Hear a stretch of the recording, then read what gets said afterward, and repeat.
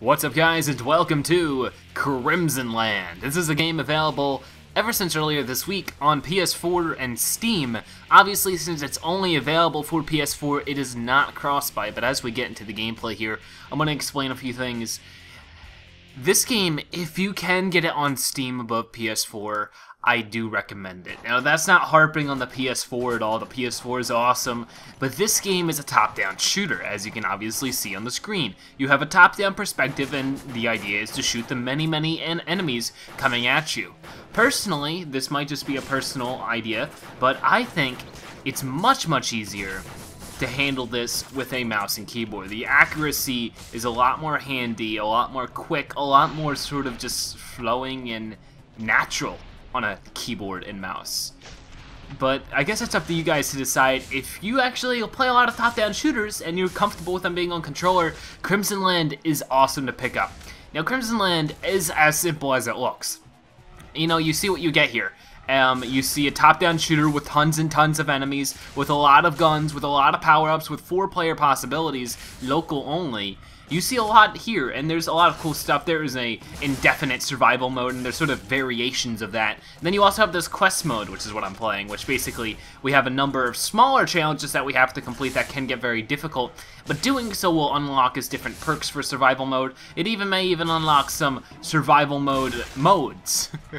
and we can also unlock guns, and just a bunch of different stuff from playing through the quests. And that's the simpleness of Crimsonland. It's not complex at all. It's a point-and-shoot, top-down shooter. Normally, I don't really like these kinds of games, but this one's sort of growing on me. It's fun, it's simple, it doesn't over-complexize itself. It's, it's just shoot a bunch of enemies, try to survive. If you can do it, then you're awesome. If you can't, then get better. You know, and that's the simpleness of it, and that's something you can really enjoy about this game. And there we go, we unlocked a new perk. Now, perks aren't really applying to us here. But if we go out of here and we go to the quest menu, we can go to a survival mode. And in the survival mode, we can uh, have those perks sort of available to us. Basically, we go to survival mode, and there's different survival modes. I only have two unlocked right now. The basic classic survival, survive as long as you can. And then there's Rush, which basically gives me an AK-47 with unlimited ammo and throws a ton of enemies at me to see how many I can kill. But we're going to do survival mode and just keep it nice and simple. And of course, this is where high scores come in. You can try really hard to uh, beat some enemies, or you know, just really, really hard to kill as many enemies as possible so that you get high on that scoreboard. And so if you're competitive with scoreboards, you like getting number one all in the world, this is a good game for you. Easy to pick up, easy to, you know, get better at, and just keep trying and trying. Here we go, here's my AK. Just start running things down. Obviously, if you have arachnophobia, this game is not for you. but uh, this is the simplicity of it. There's a lot of charm here, but there's not, I'm not going to say there's a ton of depth. Like, you know, you like I said earlier, what you see is what you get here. There isn't that much, you know, straying off from that. So if you like a top-down shooter where you get to shoot stuff all the dang time with a ton of power-ups, a ton of guns, and there's different ways sort of to play with all the different guns. And this might be the game for you. Okay, looks like I get an extra shield here. Start mowing them down. It's really hard surviving. Basically, for this survival mode, you can see on the top bar there is a progress bar. And that is our a uh, level bar. So whenever we level up, we get to choose a new perk. And that's where the perks come in. Let's start mowing these guys down. It would be sort of nice, like the game, the controls are very simple. Literally all we have is run, shoot, reload. There's no nuke button, there's no uh, speed up button. We do run in the power-ups that do that for us. Okay, so now we can pick a perk. Telekinetic, with the power of your magnificent mind, you slowly but steadily move the nearest power-up at your direction. Perk Expert, which is just, I don't even know. Hot-tempered, and Plague Bearer. You carry a horrible disease. Uh, I'll do this one sometimes, usually trying to get the uh, power-ups is usually what kills me in the end. Because of the fact that you have to dive into a huge plot of enemies to get to it. Now let's start tearing these guys up. Look at this. Getting the slowdown. Already another level up. Uh...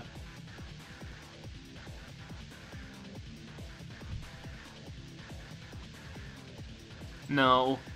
Yeah, there's some really weird perks here. And, uh... Okay, let's do that. Let's just, just start tearing everybody up. It's just, uh, you know, these bullets actually really do, like, destroy the enemies. It's awesome. Ooh, and a times 2 XP. Wow, we're getting all the power-ups here. This is awesome. Okay, this is working out really, really well. Ooh, 500 free XP. Okay, I'll take it, I'll take it. And it gets it really enjoyable. If this is like any, if this is your game, if you like this type of game, you'll be playing this for hours. Okay, we got Fatal Lottery, Infernal Contract. No.